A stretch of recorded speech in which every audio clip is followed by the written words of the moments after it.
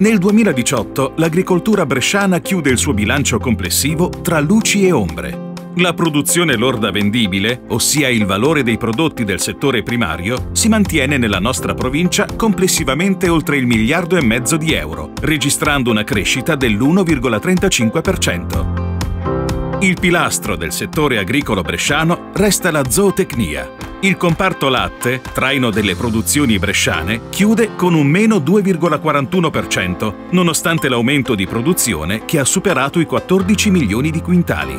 Negli ultimi mesi del 2018 il prezzo del latte ha però invertito la tendenza, con una forte ripresa dell'intero mercato lattiero caseario. La suinicoltura è tornata invece a vivere un periodo di forte crisi, con una decisa flessione dei ricavi che raggiunge quasi il 14%, causata da una forte contrazione delle quotazioni di mercato, Nonostante l'epidemia di influenza aviaria che ha colpito la nostra provincia, tengono tutti i comparti del settore avicolo, che nel 2018 supera i 280 milioni di euro di volume d'affari, arrivando al secondo posto per valore di produzione lorda vendibile agricola bresciana. La ripresa dei consumi di carne bovina ha trainato nel 2018 questo settore della zootecnia, che mette a segno un altro segno più con un aumento del 2,4%.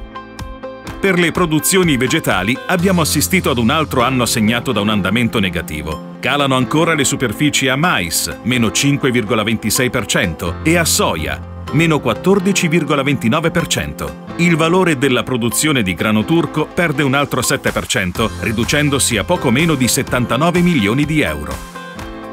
Dopo il 2017, segnato fortemente dalle gelate primaverili, il 2018 è invece l'anno della viticoltura e dell'olivicoltura. La vendemmia del 2018 ha visto numeri da record, con oltre 650.000 quintali di uve raccolte destinate ai soli vini a denominazione d'origine, con un valore, considerando le sole uve, di oltre 105 milioni di euro. Anche il settore olivicolo bresciano, in controtendenza con la situazione nazionale, chiude una delle migliori annate di sempre, raggiungendo una produzione di olive di oltre 122.000 quintali.